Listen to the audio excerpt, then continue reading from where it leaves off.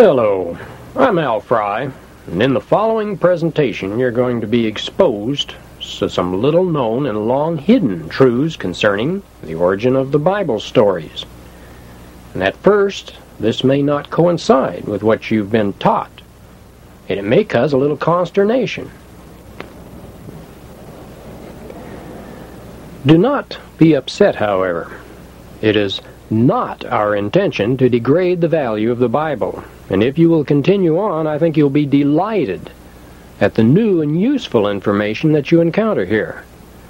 The Bible does contain a great deal of inspired truths, or it would not have survived this long and inspired so many to a better set of ethics.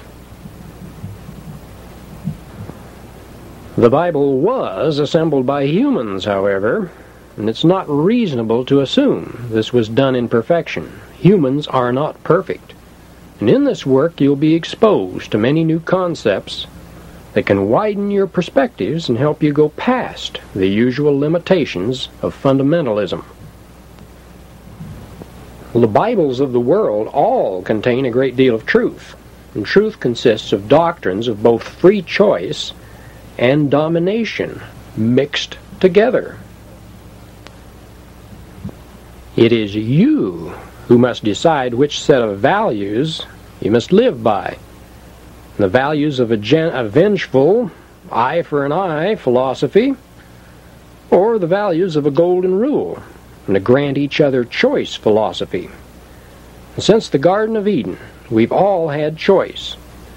And it can be your choice to continue on toward more understanding and awareness at this point. Well, to understand where the ancients got many of their myths, it's important to have a little background in what constitutes matter and where our intelligence came from. At the heart of all material things, we have a non physical, non material atom structure, which holds this material atom structure together in the material form that we have. And in the case of life forms, we have a spiritual prototype residing in the seed or egg. Well, this non material atom structure carries itself over in the egg, and the species knowledge is accumulated and kept in this egg knowledge assembly. In all animal forms, this knowledge is in perfection. The animal carries a perfect instinct knowledge to function in its particular environment, and they cannot function like other animals or humans, as in this picture. In the case of we humans or species Homo sapien, there's a problem. Now, thousands of years ago, our species was contaminated with an intelligence outside of our species. And ever since this time, we've lived in chaos and confusion. Our species' instincts have been continually overridden with a new and imperfect mind component. Now, this vacillating mind input has created constant uncertainty and a very slow attrition of knowledge through painful trial and error. Well, in the egg or seed knowledge of Earth, there lies a spiritual backing of intelligence. And as long as this intelligence puts out the energy to the seeds, they can reproduce their species and can be considered life. Since the learned life is the most ancient interpretation, meaning that which can reproduce or sustain itself. Well, since all seeds carry the genetic patterns or plans of the species, there is no moral or rational reason back of the life form, only the various energy ties with a creator or universe, the sun giving radiations and the joy energies from the creator. Well, unfortunately, the joy frequencies of humans got cut off thousands of years ago, and while most animals are full of affection and joy, Few humans ever even feel this wavelength. Any dog or cat you give a little affection will demonstrate a complete freedom from distrust and negativity. They'll give the affection back to you. We humans carry by total reciprocation of affection and often joy. Well, through this negative mind usage, very few humans are full emotionally. We hold back our emotions, unlike all the other animals on the planet. Have you ever seen an animal, a pet, that did not give out affection? Well, if the survival guard is down on an animal, they'll give you back affection, you can be sure.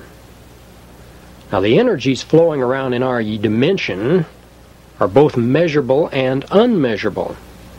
And this didn't confuse the ancients, but it's uh, constricted the perception of materialistic scientists today.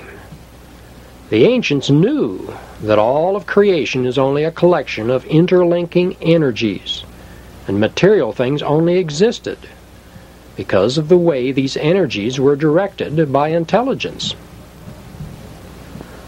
Well, the chaos of the Greeks and the Nox of the Romans and the Ner of the Egyptians and Parabrahm of the Indians and Tao of the Chinese were simply terms for this ocean of undirected energy.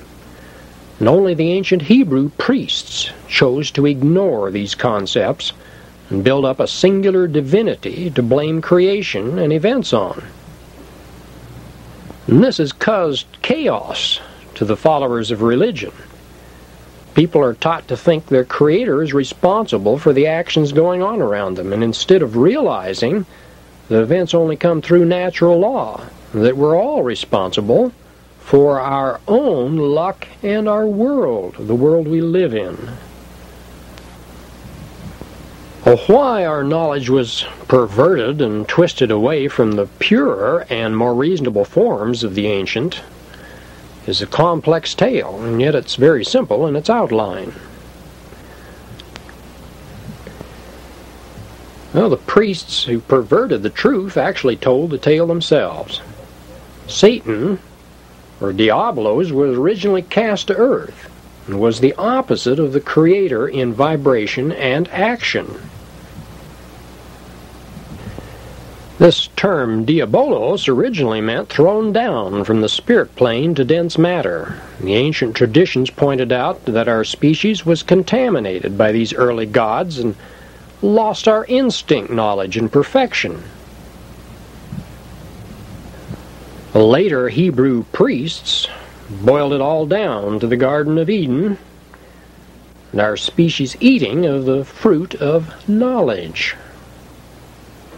Legends often cover similar background in the same simplistic stories in many countries. We've all heard of Prometheus starting fire from heaven, stealing it. And this is latent in all mankind. We need to take the atoms and transmute them, as plants do from the rays of the sun. Great spiritual teachers such as Jesus Christ even showed that it could be done mentally by a human being. And even the Hebrews and their earliest traditions of creation were much more accurate than the picture that's come down through the censorship of later priests. Uh, when the original accounts of creation were written by the Hebrews, they used the term Elohim.